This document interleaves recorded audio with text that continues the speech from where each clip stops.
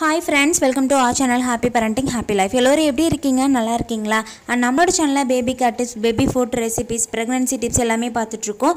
உங்களுக்கு இந்த மாதிரியான டிப்ஸ்லாம் யூஸ் ஆகும் அப்படின்னா கண்டிப்பாக நம்மளோட சேனலை சப்ஸ்கிரைப் பண்ணி வச்சுக்கோங்க. அண்ட் பெல்லைக்கானே கிளிக் பண்ணி வச்சுக்கோங்க.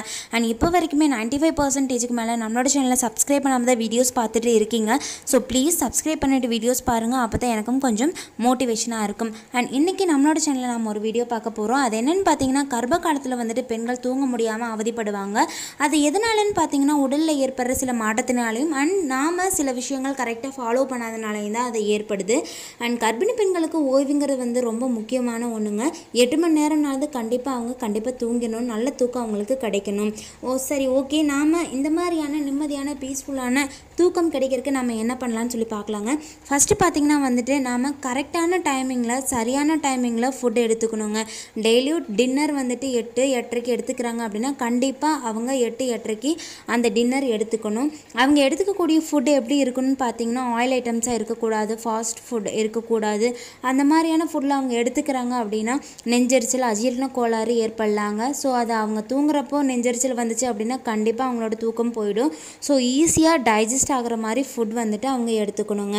அண்ட் அவங்க அடுத்த டிப் பார்த்திங்கன்னா வந்துட்டு காஃபி டீலாம் அவங்க குடிக்கிற பழக்கம் இருக்குது அப்படின்னா கண்டிப்பாக அதெல்லாம் அவாய்ட் பண்ணிடணும் அண்ட் அவங்க ஃபுட்டு எடுத்துக்கிட்டதுக்கு அப்புறம் டின்னர் முடிச்சதுக்கப்புறம் கொஞ்ச நேரம் வந்துட்டு ஒரு ரிலாக்ஸ்டான வாக்கிங் பண்ணணுங்க. வீட்டுக்கு வெளியில் ஆறு மொட்டை மாடியில் வா வாக்கிங் பண்ணணும். மூன் பார்த்துட்டு ஸ்டார்ஸ் பார்த்துட்டு அந்த இயற்கை காற்று வந்து அவங்க மேலே படுற மாதிரி ஒரு ரிலாக்ஸ்டான வாக்கிங் இருக்கணுங்க. அப்போ தான் வந்துட்டு அவங்களோட மனசு லேஸ் ஆகும். ஒரு பீஸ்ஃபுல்லாக இருக்கும். அதை அவங்க ஃபீல் பண்ணும்போது ரொம்ப ரொம்ப நல்லா இருக்கும். ஸோ டின்னருக்கு அப்புறம் அந்த மாதிரியான ஒரு ரிலாக்ஸ்டான வாக்கிங் வந்துட்டு ரொம்ப ரொம்ப முக்கியங்க. அண்ட் அடுத்து அடுத்தது பார்த்தீங்கன்னா நீங்கள் வாக்கிங்லாம் முடிச்சிட்டிங்க அப்படின்னா ஃபோன் பார்க்குறது லேப்டாப் பார்க்குறது லேப்டாப்பில் ஒர்க் பண்ணுறது அந்த மாதிரியான எலக்ட்ரானிக் ஐட்டம்ஸ் யூஸ் பண்ணுறதுலாம் வந்துட்டு கண்டிப்பாக அவாய்ட் பண்ணிடணுங்க. அண்ட் அடுத்தது பார்த்தீங்கன்னா வந்துட்டு நீங்கள் முடிச்சிட்டிங்க வாக்கிங் முடிச்சுட்டு வந்துட்டிங்க அப்படின்னா ஒரு வார்ம் வாட்டரில் டெய்லியுமே வந்துட்டு ஒரு குளியல் எடுத்துக்கோங்க. அது ரொம்ப ரொம்ப நல்லதுங்க. ஃப்ரெஷ்ஷாக ஃபீல் பண்ணலாம். அண்ட் அடுத்தது பார்த்தீங்கன்னா வந்துட்டு நீங்கள் குளித்து முடிச்சதுக்கப்புறம் ஒரு டைட்டான ட்ரெஸ்ஸஸ்லாம் நீங்கள் வியர் பண்ண வேணாம். ரொம்ப லூஸான ட்ரெஸ் ரொம்ப கம்ஃபர்டபுளான ட்ரெஸ் வந்து நீங்கள் வியர் பண்ணிக்கோங்க. அண்ட் அடுத்தது என்னென்னா நீங்கள் தூங்குகிற பொசிஷன் எப்படி இருக்கணும்னா சைடு பொசிஷனில் தாங்க இருக்கணும். அண்ட் அது எப்படி இருக்கணும் அப்படின்னா அப்படி சைடு பொசிஷன் தான் ரொம்ப ரொம்ப நல்லதுன்னு சொல்கிறாங்க நீங்கள் மல்லாந்து படுக்கிறீங்க குப்புற படுக்கிறதுலாம் வந்துட்டு கூடாதுங்க. குப்புற படுக்கிறீங்க அப்படின்னா வந்துட்டு அது உங்களுக்கும் உங்கள் பேபிக்கும் ஆபத்தாக இருக்கலாம்.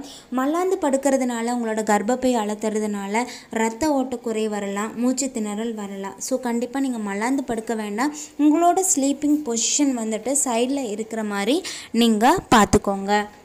அண்ட் டெய்லியுமே தூங்குறதுக்கு முன்னாடி ஒரு அஞ்சு நிமிஷம் மூச்சு பயிற்சி அஞ்சு நிமிஷம் தியானம் பண்ணுங்கள் இது வந்துட்டு நம்மளுக்கு மன அமைதிக்கு ஹெல்ப் பண்ணும். அண்ட் இந்த ப்ரெக்னென்சி டைமில் சம் ஹார்மோன் சேஞ்சஸ்னால நம்மளுக்கு சில நெகட்டிவ் தாட்ஸ்லாம் வரலாங்க. இந்த மாதிரியான மூச்சு பயிற்சி தியானம் செய்கிறப்போ நான் அதிலிருந்து நம்மளால் விடுபட முடியும். மன அமைதி கிடைக்குங்க. அண்ட் அடுத்தது பார்த்தீங்கன்னா ப்ரெக்னன்சி பில்லோஸ் வாங்கி யூஸ் பண்ணுங்கள் அப்படி யூஸ் பண்ணுறப்போ உங்களுக்கு கம்ஃபர்டபுளான ஸ்லீப்பிங் கிடைக்கும். அண்ட் கை வலி கால் வலி ஏற்படுறது கழுத்து வலி ஏற்படுறது கால் வீங்கிறது இந்த மாதிரியான பிரச்சனைகள்லாம் நம்மளுக்கு இருக்காது.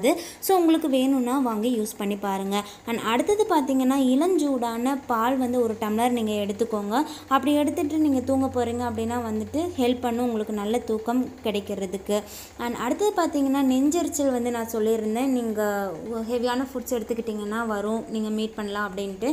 நம்மளோட சேனலில் அந்த நெஞ்சரிச்சலுக்கான சொல்யூஷன் வீடியோ நான் போட்டிருக்கேன். நான் டிஸ்கிரிப்ஷன் பாக்ஸில் லிங்க் கொடுக்குறேன். அண்ட் ஐக்கான் பட்டன்லையும் ஆட் பண்ணியிருக்கேன். நீங்கள் அதையே செக் பண்ணி பார்த்துக்கோங்க.